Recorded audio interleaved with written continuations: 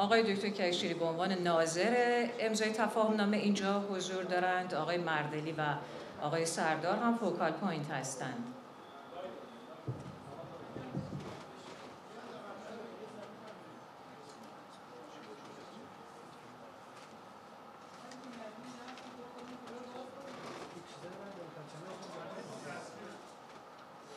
دوستان اگر که اجازه بدند که اهالی رسانه هم بتونند که به خوبی تصویربرداری از این مراسم رو داشته باشند که پوشش خبری مناسبی هم به این برنامه داده بشه.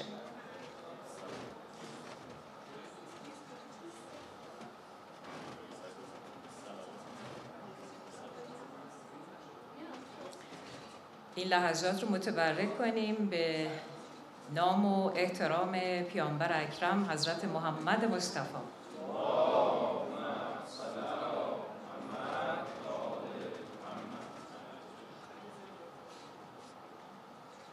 این تفاهم نامه با هدف افزایش مشارکت در های نهادمند بین المللی عرصه اشتغالزایی و محرومیت زدایی به منظور اعتلاع جایگاه ایران اسلامی در زمینه استقلال ملی و پیشرفت اقتصادی اجتماعی میان بنیاد برکت و مجمع جوانان سازمان همکاری اسلامی امضا شد.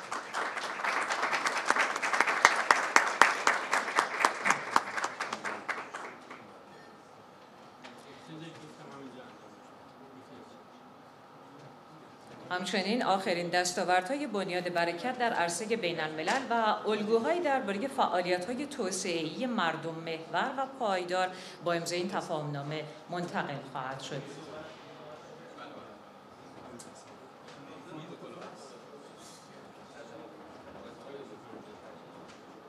و البته هدیه یادبودی هم از سوی بنیاد برکت به آقای آیخان رئیس مجموعه جوانان سازمان همکاری اسلامی اهدا شد.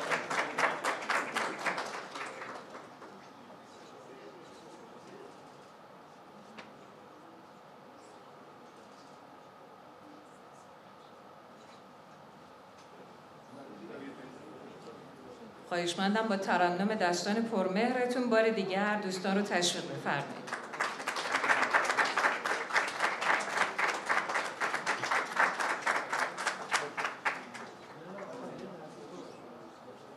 و البته یاد بودی هم از سوی مجمع جوانان سازمان همکاری اسلامی به جناب آقای دکتر ترکمان مدیرعامل بنیاد برکت اهدا شد.